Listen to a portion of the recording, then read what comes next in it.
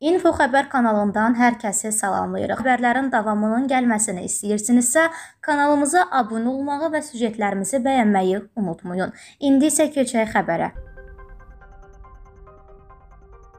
Heç vaxt erməniləri tək qoymayacağıq. Axaras xəbər verir ki, bunu Fransanın prezidenti Emmanuel Macron Twitter səhifəsində yazıb. Biz heç vaxt erməniləri tək qoymayacağıq. Həmişə davamlı sülh üçün həll yollarını axtaracaq. Qarşıdan gələn bayramların sülh və humanitar sahədə nailiyyət dövrünə çevrilməsinə çağırıram deyə Makron bildirib.